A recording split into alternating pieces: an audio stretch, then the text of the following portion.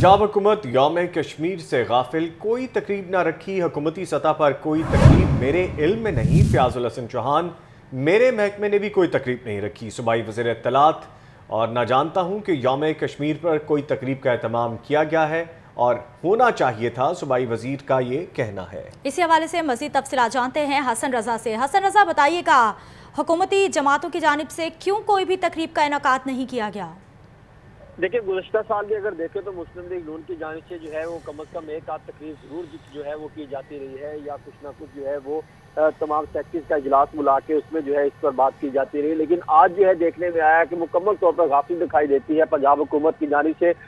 پنجاب حکومت کے نمائندگان تو بہت زیادہ ہے ترجمان تو بہت ہیں جو اطلاعات کے والے سے بڑے دعوے اعلانات کرتے ہیں، لیکن ابھی تک ان کی جانب سے کوئی جو مقصد کی تقریب ہونی چاہیے تھی، جس کے والے حوالے سے پنجاب ایک بڑا صوبہ ہے، ایک بتانا چاہیے تھا کہ یہ ہمارا پیغام ہے، یہ ہمارا میسج ہے۔ اس پر جو ہے پنجاب حکومت، وزیر اعلیٰ پنجاب سمیت تمام بیوروکریسی، تمام وہ ترجمان اور تمام میڈیا ورکرز کی کمیٹی، وہ اس سے مکمل طور پہ خاموش دکھائی دیتی ہے۔ اور خاص طور پہ صوبائی وزیر اطلاعات فیاض حسن چوہان نے بھی تسلیم کیا ہے کہ میرے محکمے میں یعنی وزارت اطلاعات کی جانب سے بھی کوئی تقریب نہیں رکھی گئی۔